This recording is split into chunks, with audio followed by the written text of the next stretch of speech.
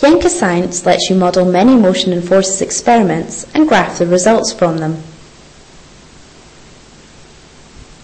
Here we have added a motion space, a concrete ground and a cart. When the ground is added, it creates a gravitational field, but only inside this space. To edit the cart's properties, double-click on it to open its properties pane.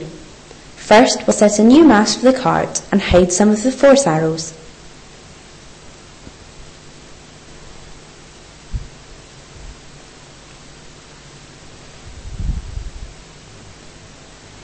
In the Appearance section, you can change an image for the cart.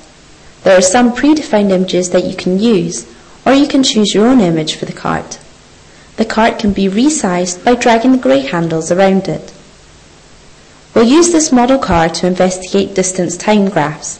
To do this, we want to be able to control the driving force applied to the car. Go to the Presentations folder in the Parts library and add a number part. Drag the target onto the car and choose Driving Force X from the Properties list. When the value of this number part is changed, a force will be applied to the car. Click the arrow beside the number part and you'll see the force on the model car change. It starts to accelerate. Now we need to add a graph. Drag the graph from the presentation folder in the parts library. Next, drag the target symbol from its y-axis and release it onto the car. Choose the property to graph on that axis, displacement x.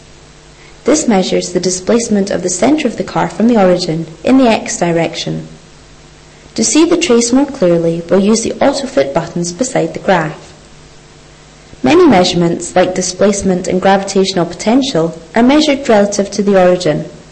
To show the origin, double-click on the motion space to open its properties pane. In the motion section, check the Show box under Origin. To move the origin, drag on the circle at its centre.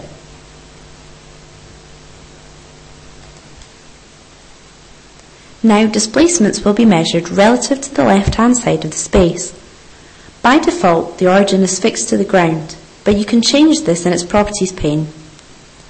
Now we can experiment with the driving force in the car and see the displacement time graphs that are drawn. Applying a negative force in the x direction means you're applying the force to the left. The same positive and negative directions apply to other quantities like velocity and acceleration. Now we'll change the graph to show velocity in the x direction against time and repeat the experiment. If you like, you could add a second graph part and compare distance and velocity graphs side by side.